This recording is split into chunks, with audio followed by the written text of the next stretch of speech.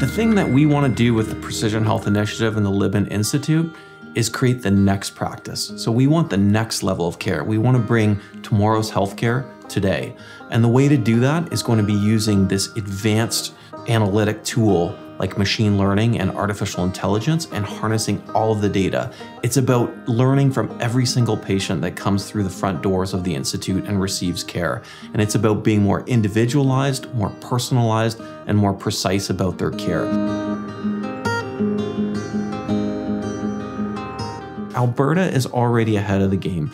Alberta has done a phenomenal job of integrating the healthcare system with digitization.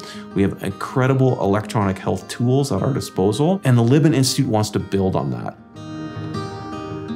We have a unique opportunity in Alberta to leverage all the decisions that have made in patients with cardiovascular disease over the past couple decades and learn from them. To be able to bring that data together in the best possible way to predict how future patients can be better managed. By bringing together all the information about an individual patient, from the electronic health record to the medical images to the genetics, we can build a better healthcare system that can predict and anticipate what's going to happen.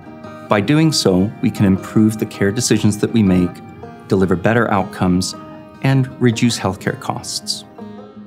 I think there is a lot of opportunity. I think part of that comes from realizing the potential of the data that is in the system because there's a lot of benefit that can be created from utilizing that in a really meaningful and responsible way. And we've curated this team of incredible people where we're all kind of wayfinding this together. And so one of the benefits of that, and one of the challenges, but something that we've really embraced, is the fact that we could create our own team.